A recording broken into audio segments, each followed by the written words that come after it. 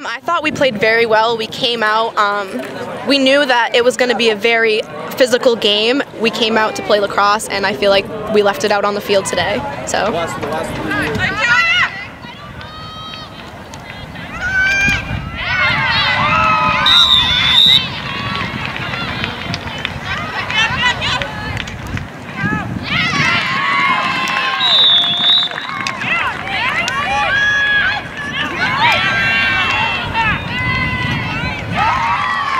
Offensively, we definitely have picked up a new plays, especially really recently, ones that are working really, really well for us. We're just trying to incorporate what works best for feeds and cutters because we know that against good teams, the 1v1s don't work and you always have to hit the cutters and all our new plays are really incorporating and really working for us. Um, we're really working on fixing the little things that we need to fix and being the team that we need to be, being aggressive off ball and getting everything that we need to get.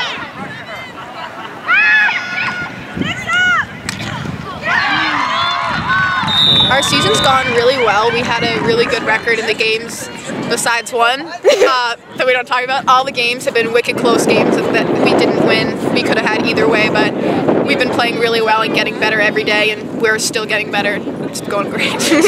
After winning this, you just feel you can't help but feel like relaxed. Um, we're on to 0 0 again though on Saturday, so it feels good not only to get the Battle of the Bridge, but a playoff win. There's nothing better.